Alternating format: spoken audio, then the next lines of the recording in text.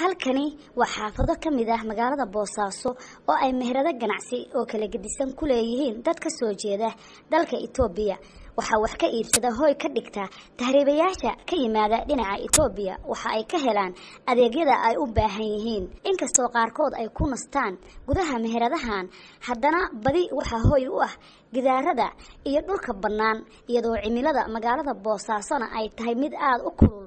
Waa tiradii ugu badnayd ee tahriibayaal dhinaca etoobiya ka yimaada oo ku sugan gudaha magaalada boosaaso. Waxaana jira caqabad hortaagan.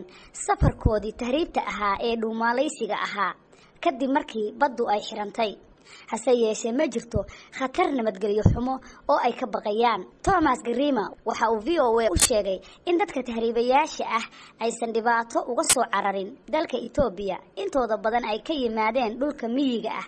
Sababta tahriibta ku xambaartay ayuu ku sifeeyey. Kadib markii ay arkeen saaxiibo horay u tahriibay oo dhaqaale ka soo sameeyey dalka sacuudiga thomas ayaa v o a u sheegay inay sii kordhayaan tirada tahriibayaasha ka imanaya dalka etoobiya inkastoo uusan sheegin dad xanuun la ildaran marka laga reebo safarka dheer iyo cimilada magaalada oo kulul ra'iisul wasaaraha etoobiya hadeer waxba dhibaat male moogta waa okay wayaan wadankii laakiin kuwaana kuwaan waa reer baadiya ka imaada maaragtay. Qof saudi aadeeyo baabuur soo gadeeyo guriga dhisay saasoo fiiraya saas ama lagu soo tagay waxa kale ma dhibaat kale iyo political case waxba kale ma dhibaat ma lihiin jamiila axmed waa hooyo saddex carruur ah ku dhashay gudaha magaalada boosaaso waxa ay v o a u sheegtay inay ka ganacsato cuntada etoobiyaanka ee loo yaqaan canjeela xabashida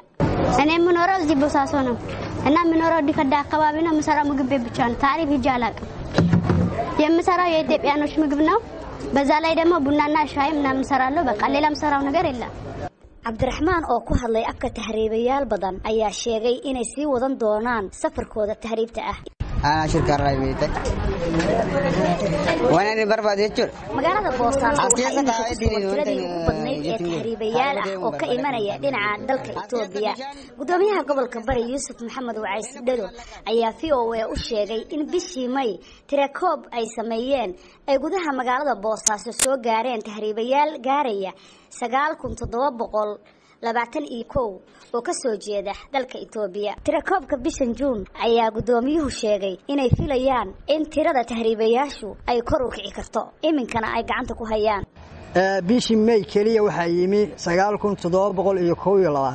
bishii juun aynu hadda ku jirrona waa la wadaa. Waxaan filayaa intaa labanlaabkeeda inay noqonayso siddeed iyo toban kun. Wax gaaraya ay noqoto. Maalmihii iidka ugu dammeeyey iyo afar iyo labaatanka bisha miidiya waa ku aragteen boqol boqol bay u soconayaan. Gudoomiyaha gobolka bari yuusuf maxamed wacays dhado ayaa sheegay inay bilaabeen howlgal ay laamaha ammaanka gobolka bari ku qabanayaan wakiilada wax tahriibiya mulkiilayaasha iska leh gaadiidka tahriibta lagu qaado iyo qaar ay dib ugu celinayaan halkii ay ka soo tahriibeen. Waxaana guddoomiyaasha gobollada puntland iyo kantarooladaba uu ugu baaqay inay hakadgeliyaan safarka tahriibayaasha. Guddoomiyaasha gobollada degmooyinka si wada jira in maxaa wax looga qabto. Dadkaana la badbaadiyo.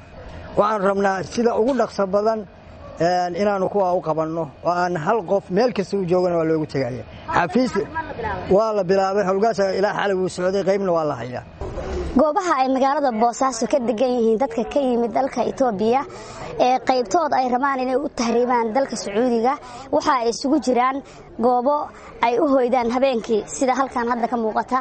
Waxaa kaloo jira goobo ay isticmaalaan oo musqulaha ah iyo meherado isugu jira cunto timajare iyo waxyaabo kale oo iyagu ay si gaara u isticmaalaan waxaana muuqata inaysan wax dhiba kala kulmin. Inta ay ku sugan yihiin gudaha magaalada boosaaso